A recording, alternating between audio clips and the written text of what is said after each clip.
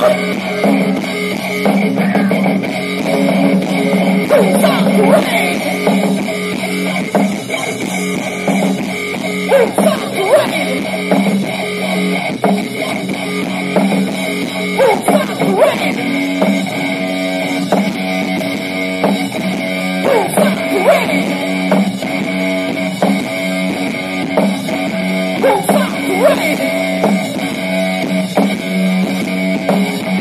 Thank